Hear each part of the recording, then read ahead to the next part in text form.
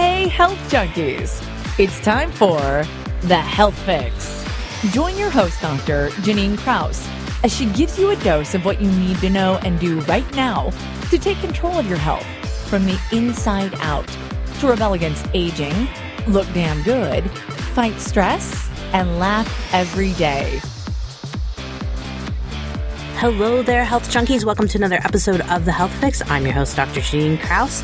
Today's episode, I'm going to be talking about the Methodology Premium Food Delivery Service. Now, I originally recorded an interview with Julie Nguyen, the co founder of Methodology. However, somehow in my recording, I lost the ability to record what she was saying. So it was a very one sided recording. So I decided that since that happened, I am going to give you a summary so that you have something for this week to think about. And I'm going to get Julie back on the podcast so that she can tell us her story in her own words. But today, I'm going to give a little bit of hope, perhaps, to folks out there who are struggling with food allergies and starting to hate food. Because let's face it, when you find that you react to certain foods, you tend to, of course, think, okay, I've got to pull these out of my diet. But at the same time, you're like battling between benefit outweighing the risk. And by that, I mean, if I eat something, how bad am I really going to feel? How much is it really going to affect my body? Well, for a lot of people out there, Food sensitivities are things that can really ruin their life.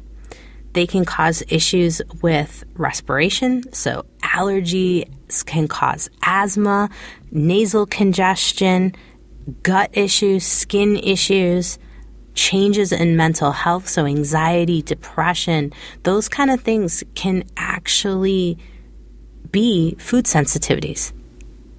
Now imagine in the case of many people, I have many patients like this, but also in the case of Julie Nguyen, the co founder of Go Methodology, she had food sensitivities so intense that she was having depression.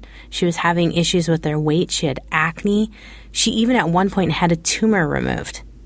Now, that's pretty intense. And the reason I'm putting out this podcast without having the full interview with her It's because I do think that it's a really important subject and information that I'd really like to get out there to help folks from wasting time going from doctor to doctor to doctor to figure out why the pharmaceutical medications for their depression aren't working, why everything for their skin isn't working, all the topicals in the universe aren't taking care of their psoriasis, eczema, or asthma, even. And I know that has nothing to do with skin, but asthma is a big one. I just saw a patient today in my office who has asthma and some serious issues with her breathing to the point where she actually has to use her inhaler all day long. Otherwise, she can't survive. And these are because of food sensitivities. So, let's talk a little bit about food sensitivities and how things develop over time. Because I still think that there's a lot of people out there that are like, how can my food really damage me?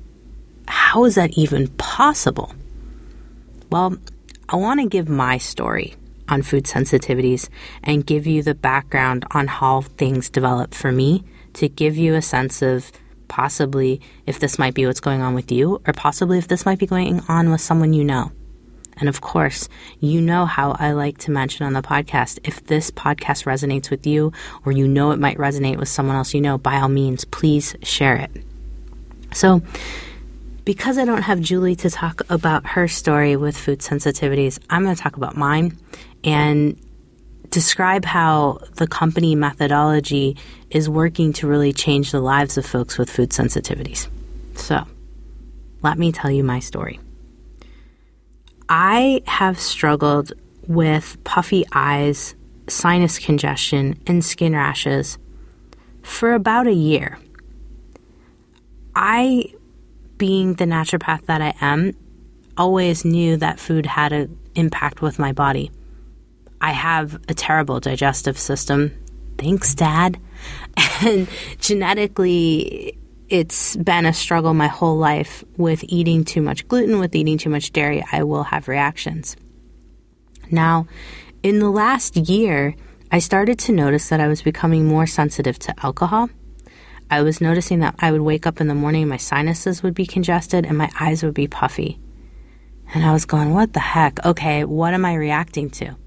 So I had to go back to basics. I had to use a detailed data approach to figure out what food was it that caused my issues. Julie Nguyen did the same thing. In fact, she was a former Wall Street analyst, so she was super detail oriented.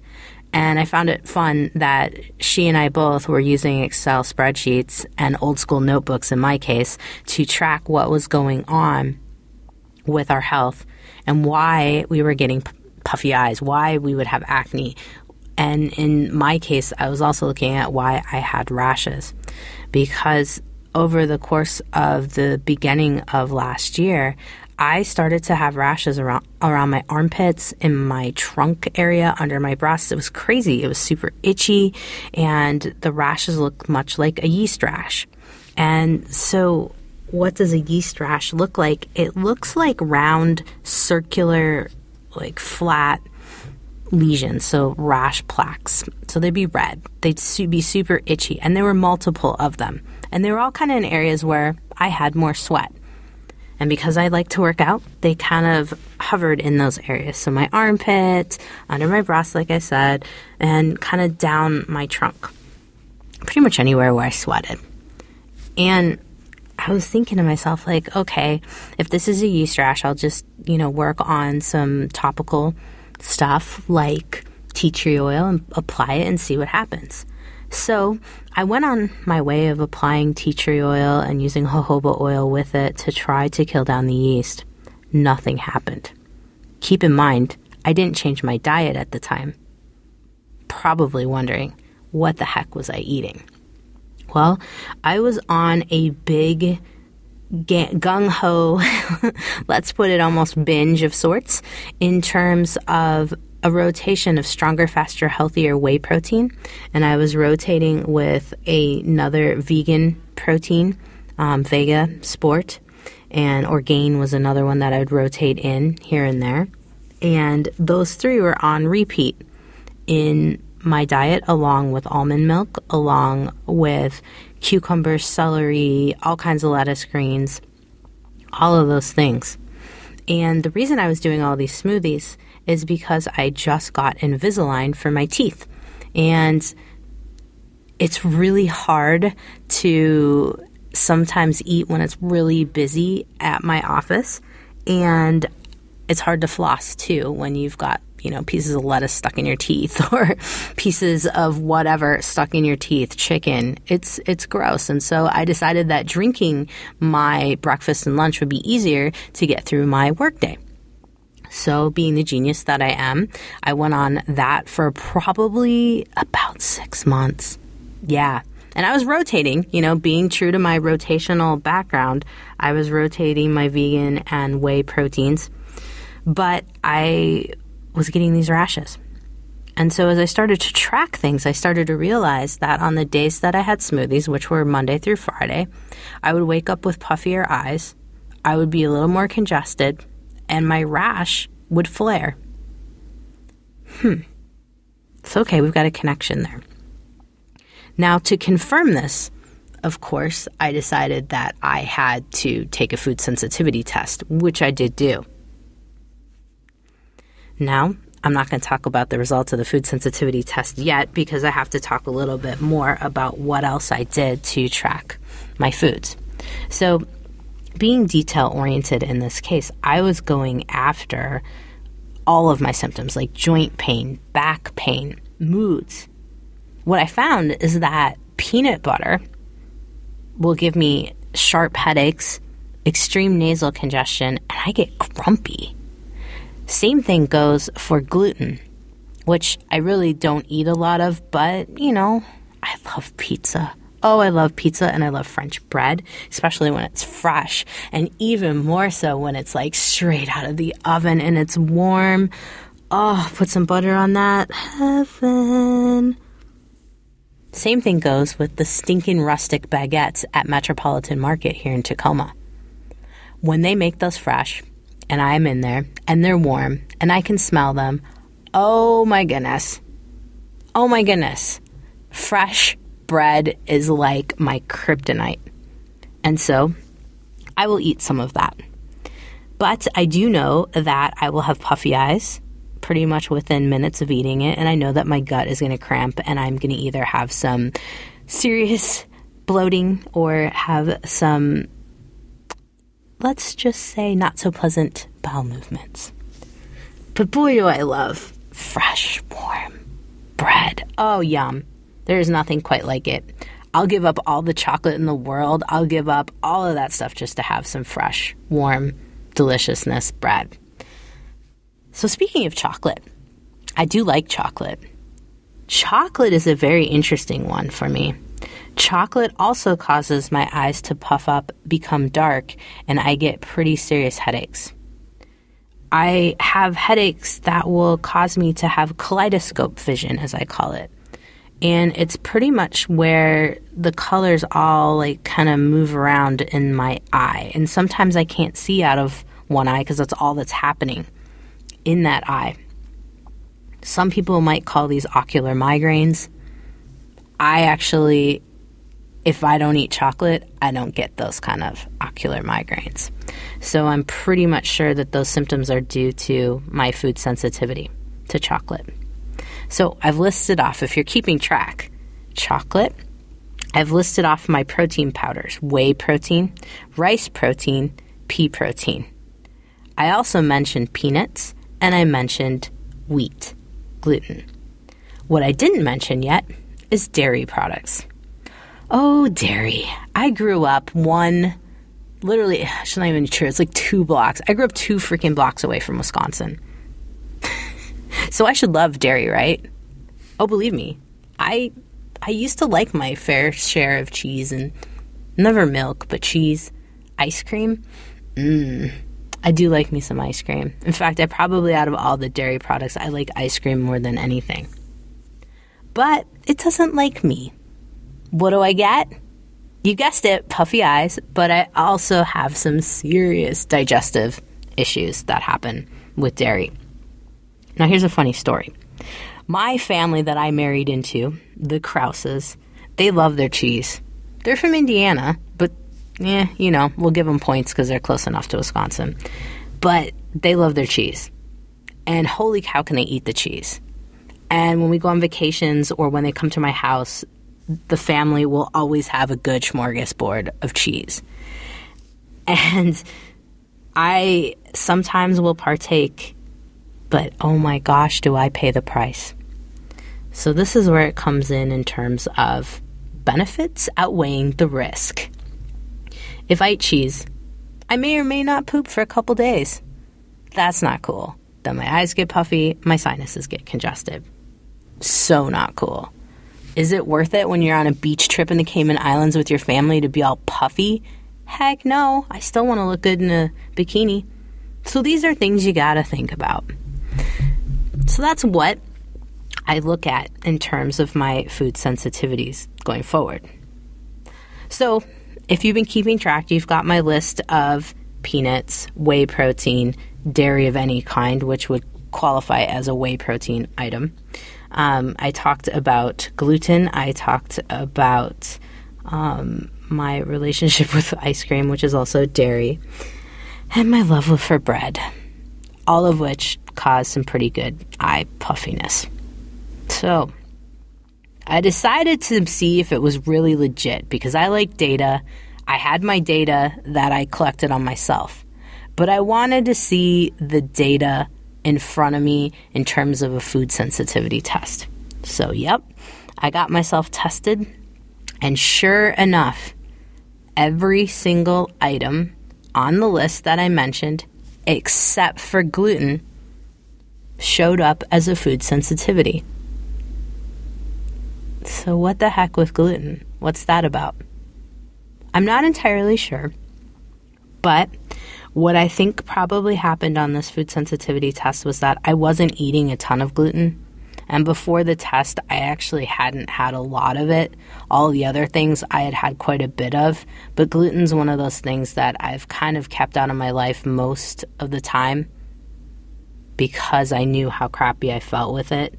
Plus, the other thing I didn't mention is that gluten can also make me pretty angry and crabby, and the mood was not worth it.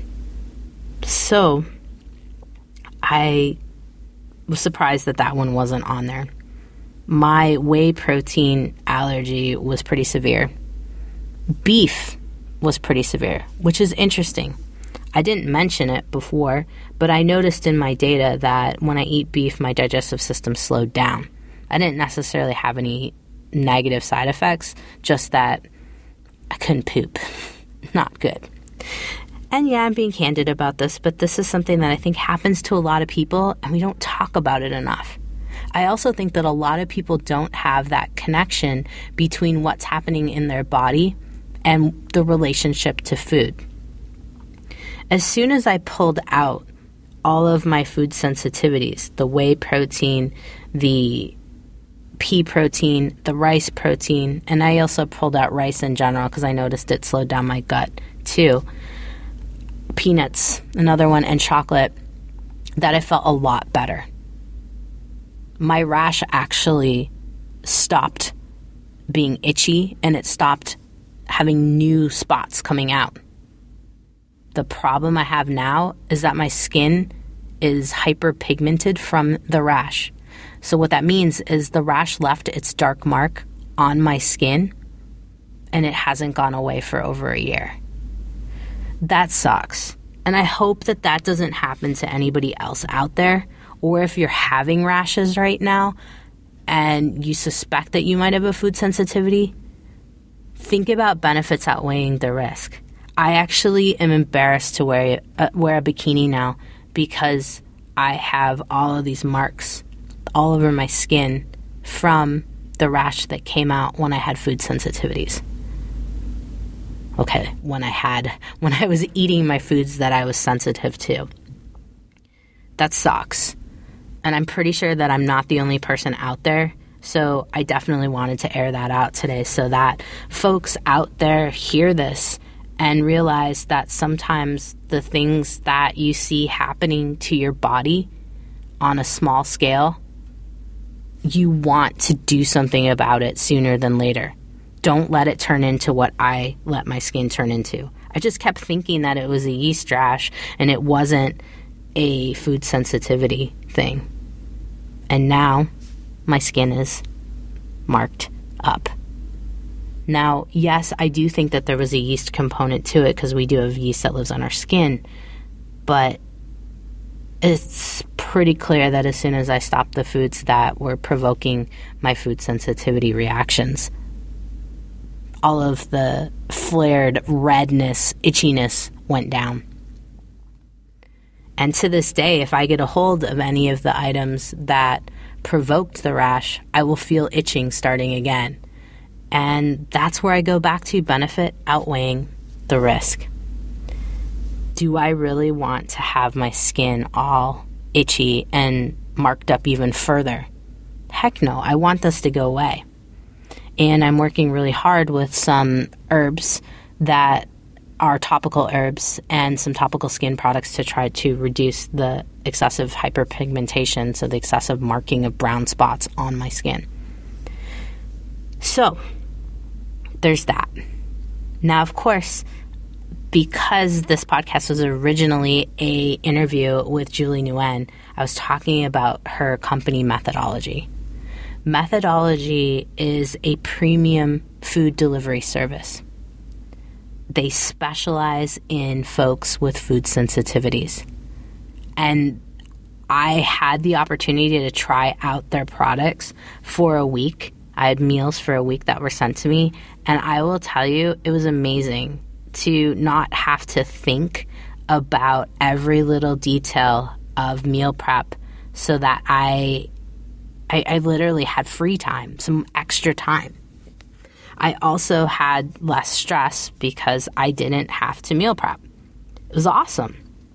And I think that's the biggest problem that a lot of folks out there who are struggling with food sensitivities have. It's one, finding the time to meal prep. Two, taking the time to quality make quality foods and rotate your foods because I think a lot of people who have food sensitivities are on repeat eating the same thing. That's a it's a problem because eventually if you keep eating the same thing you're going to have sensitivities to those foods that you just keep eating over and over and over again. Definitely one of the things you want to do if you suspect that you have food sensitivities is you want to heal up your leaky gut. And I have a link in my podcast notes at thehealthfixpodcast.com with four ways to plug your leaky gut. So go check that out. If you are like, oh my gosh, I need to work on my gut, I'm going to take out these foods that I suspect that I am allergic to. Now, same thing along those same lines is with having a meal delivery service. They have a bajillion recipes I can't remember how many recipes Julie told me, but I think it was like over 500 in terms of rotation. And they have breakfast, lunch, dinner, and snacks. Now, of course, this comes with a cost, but they're using high quality ingredients. She mentioned to me in our interview that it's local farmers, local products. They have two people dedicated to sourcing all of their ingredients and double checking that all of their ingredients are on point. I've never seen a food delivery service that puts that much into making sure that they're creating healthy, quality products for those with food sensitivities. The other cool part about it is that all of the jars are labeled very well with your macros, so fat, protein, carbs, and your portion sizes which is cool because I think for a lot of us with meal delivery services, we don't even know what a portion is in there. We don't know what the macros are of that meal. We don't even know the source of the food. You can track if you, you know, with Julie, she, she knows where everything's coming from. If you really needed to go back and ask about methodologies, sourcing, she knows. Some of these other companies, I don't know. The other cool part is that she, like me, likes to put things in jars. And so they are a near zero waste company, which is pretty cool because they'll deliver everything to you in jars. You can just open up the jar and warm something up on the stove, or, you know, if you're short on time, a microwave works. It takes minutes to get a meal on the table. I think for a lot of people with food sensitivities that struggle with meal prep time and having enough time, they're busy, maybe they have families, or maybe the other big thing is that you're struggling just because you don't know what to make or you're not the greatest in the kitchen. Julie has chefs making her food and nutritionists putting together the recipes. It's pretty impressive. And along the lines of zero waste, the jars, you can send them back and they will sterilize them and reuse them for future products. It's pretty darn cool. So, in that week that I tried methodology, I was impressed.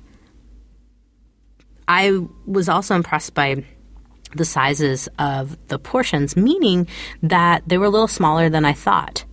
But, like Julie was explaining to me, and something that, you know, of course, needs to be reminded to all of us over and over again is that when food has higher density of nutrition, when it's high quality products, you don't need as much food to satisfy you. The lower quality junk food, we need more food to satisfy us. It makes sense. Now, she is delivering all of the stuff in the Seattle, Tacoma, Portland, and San Francisco area, so up and down the West Coast, and she's looking to expand in the coming months. But if you are in the West Coast area, you have access to testing out all of her products. It's pretty darn cool. I have done different companies. Um, I'm not going to say all their names, but I've tried a lot of the food prep companies out there, and some of the foods ho hum. I don't like a lot of the plastic that things come in. That's kind of gross. And it takes some of the meals quite a bit of time to prep them, and then you don't know what the portions are. And that's what I love about methodology that you, everything is clear. And it's kind of fun because the products have cute puns for their names. So it's always fun to see what things are going to be named after all. So it's got a lot of bonuses. But I think one of the biggest things to think about in terms of when you're struggling with food sensitivities and perhaps maybe you're not the greatest in the kitchen or don't have the time to get creative in the kitchen, you end up eating the same things and you start to hate food. Food doesn't even become joyful anymore. And that's one of the things I don't want people to lose is their joy for food. And methodology definitely brings it back. It makes it exciting. I seriously was so excited that week that I had all these different jars to open and to put foods together. Like, I, I meal prep for my husband and I every single Sunday. I do it all the time, but it's just nice to have somebody else to cook for you. It's cool. It's it's like going out to eat, but like for a whole week because you got a whole box full of a week's worth of stuff. It's I don't know. It just brought a lot of joy to me and I enjoyed it a lot. And I think that a lot of people who have food sensitivities might enjoy this as well. Now, the other big thing that I wanted to talk about with food sensitivities and loss of joy for food, or let's just put it this way, possibly creating a negative relationship with food, I think it's really important to mention this because I've come out on the podcast before about how I created myself quite a big eating disorder. One, because of dieting on and off since I was a kid, but also because of trying to figure out food sensitivities and what was causing me to gain weight quickly and then drop it quickly and puff me up and just keeping me from getting the body that I always wanted.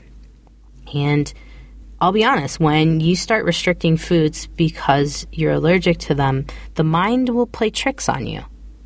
Not for everyone, but for a lot of people it does.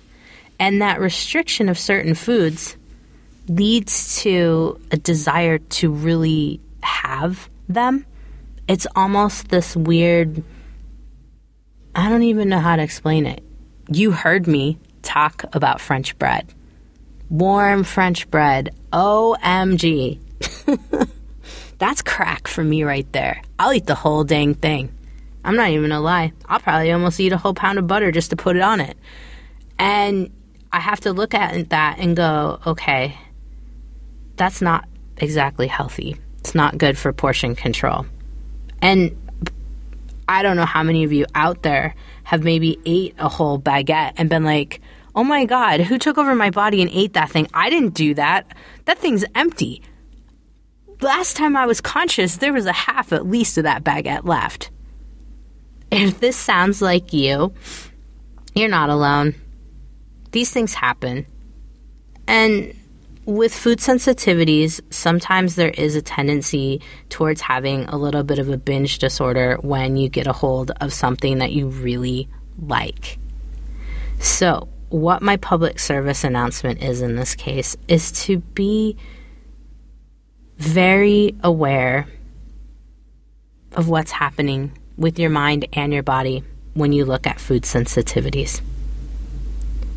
Do I strictly prohibit myself from ever having chocolate? Even though I know it's going to puff my eyes up, and even though I know it might give me an ocular kind of migraine, and it might mess with me and give me a headache. You know what? I still give myself some here and there. I just watch how much. I just keep it in check. I've actually discovered that I can have at least an ounce of chocolate, but if I go beyond that, things don't go so well. So, for those of you out there that have tendencies towards food issues or eating disorders, restriction might not be the best option for you. It might be thinking a little bit about portion control and what portions might actually be okay for you to have. In my case, I can't have any whey protein. I have a little bit of it, I start itching, and then I freak out because I'm like, okay, this benefit of having the whey protein does not outweigh the risk of me making that rash worse and making any more of those marks on my body worse because I would like to have my clear skin back. Absolutely would love it back. So, these are things you have to weigh out. I don't really know that many people that would binge on whey protein, but hey, you know what? Any, anything's possible out there. Now, in terms of my love for dairy products such as ice cream, it's one of those things that I have to think do can I live with my gut slowing down and my nose getting puffy or sorry, my eyes getting puffy and my nose getting congested? You have to think about these things. Like really weigh it down and be like, okay, can I deal with looking puffy tomorrow? Am I going to be okay with that? And how much ice cream can I have where I won't get all puffed out? I highly recommend you figuring out what is your dosage that you can tolerate. Track that data. That is huge information because sometimes with food sensitivities, it's not that you can't have the item at all, it's just how much. For me, any amount of ice cream is a problem. But benefit outweigh the risk. How, you know, if I have a little bit, I will still get puffy, but if I have like a whole cup of ice cream compared to like a half or quarter cup, it's not going to be as bad. You just got to get to know your body a little bit better. Get in tune, get in touch, see how things play out. I absolutely love peanut butter. Peanut butter at a tablespoon, totally fine. Peanut butter at four tablespoons, I've got mucus I can feel coming down my throat. I can feel my throat getting scratchy. I can feel myself just feeling gross, not feeling good. And I can feel a headache coming on. Why? Because my sinuses are getting congested. These are big deals. It's a sign that your body's reacting to something. But I would not know that I could have at least a tablespoon unless I tried it out. If I just read my food sensitivity results and said, okay, peanut butter is a problem, I'm staying away from it from, for life, and then say I get a hold of it one day and I have a huge binge if I didn't give myself a little bit of it here and there. So, for those of you out there that are struggling with food sensitivities and eating disorders, sometimes it's a good idea to step back and look at how much of a dosage of something you can tolerate, and looking at benefit outweighs the risk. It'll save you grief in the long run. I had to learn it that way because avoiding everything creates a monster. And when that monster inside you can't hold up that willpower whatever you want to call it out there, that's when a binge is going to happen. I hate the word willpower, really. I think willpower is BS. You just get stressed to a point where all of a sudden you're like, no holds bars. I'm eating this. I Don't care. I'm doing it. I don't care what the outcome is. But I found it goes a lot better when you have just a little bit of something and you find out your dosages. So, with that being said, I'm going to close up today's podcast basically by saying if you're struggling with food sensitivities, you're starting to hate food, I don't want you to lose your joy for food. I want you to still enjoy and love food. And methodology just might be the answer for you. Yes, it's a premium food delivery service.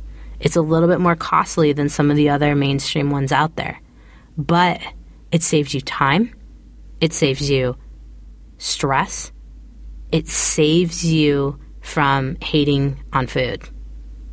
It helps reestablish your zest or joy for food again. And for a lot of people, including myself, it's freaking priceless. So I highly recommend you go check out gomethodology.com. I'm going to get Julie Nguyen back on the podcast here. I will make sure I do not screw up the recording. I have no idea what happened. I apologize for putting out all the promo and not being able to deliver on that. If you want more information on Julie and Go Methodology, like I said, gomethodology.com, but you can also go over to thehealthfixpodcast.com for more information in my show notes. If you know anybody that is suffering with food sensitivities, share this podcast with them. Let them hear me talk about my experience. And just hopefully, we can help folks to figure out their health. That's my goal. Figuring things out, being your best body investigator one day at a time. All right, gang. You've survived another episode of The Health Fix. I'm your host, Dr. Jannine Krause. You have a great day, whatever you're doing. Hey everybody, Dr. Jannine Krause here. If you liked what you heard today, then head over to drjkrausnd.com to find my free resources and information to know when I post something new that's juicy that you might want to check out. Plus, head over to where you get your podcasts and like, subscribe, and write a review to help get the word out about me and help others at the same time to find me. It really does help, and I really appreciate all of your reviews.